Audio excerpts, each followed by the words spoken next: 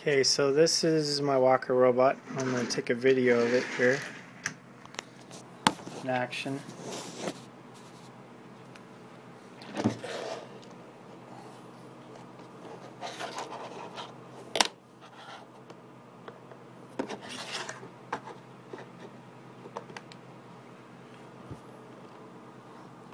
Looks good. Okay.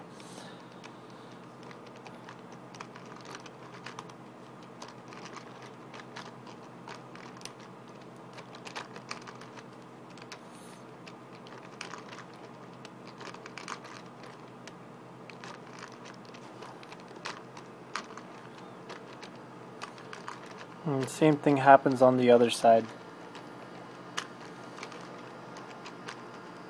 There's a camshaft, which is what I'm rotating.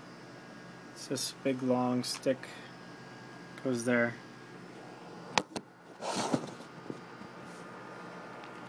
And that drives a series of camshafts per each individual leg. And each leg camshaft is the white thing is offset by 60 degrees relative to the next leg, so that's why it looks like a wave.